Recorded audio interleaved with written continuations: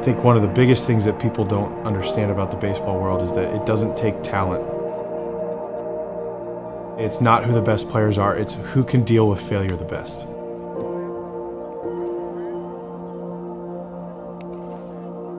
Baseball is an individual game played for a team outcome. We play the same game every single night, but you have no idea what could happen.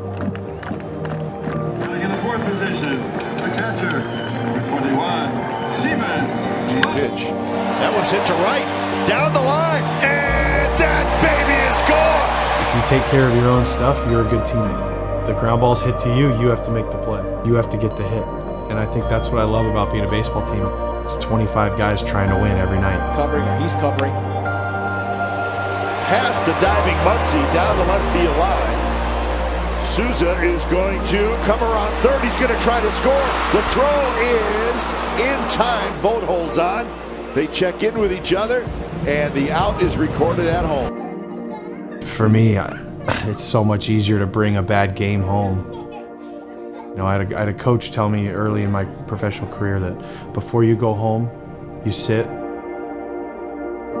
and you make sure you're ready to wash the day off in the shower.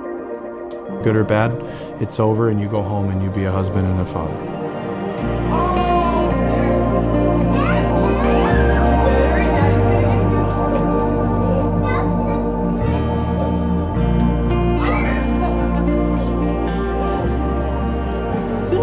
The hardest part is when you are in the lower level minor leagues and you feel like there's no getting out. You feel like you're trapped. You feel like I can see the big leagues, but they are on the other side of the world.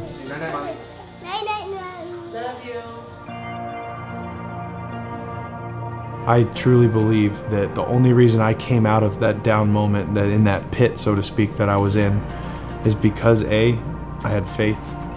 God had faith in me.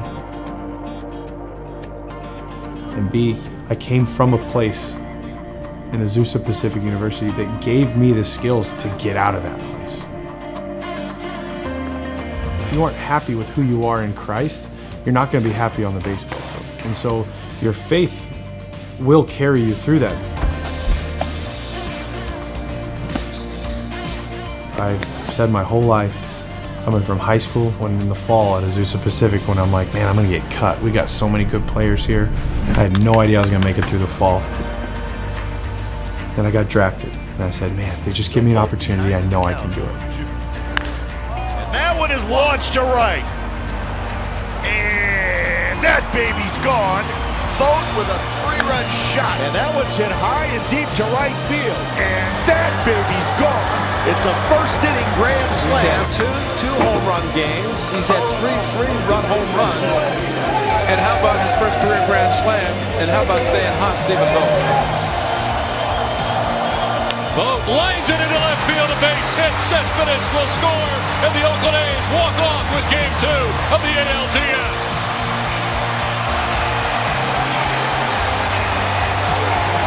And Stephen Vogt is 17 big league RBI, a walk-off RBI to win it. What a big hit by Vogt. Punched out the first three times up. What a night. Caught a shutout.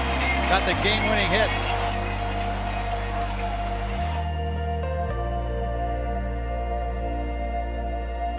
The beauty of kids is that whether daddy was four for four or 0 for four, she wants a smile and a hug and a kiss.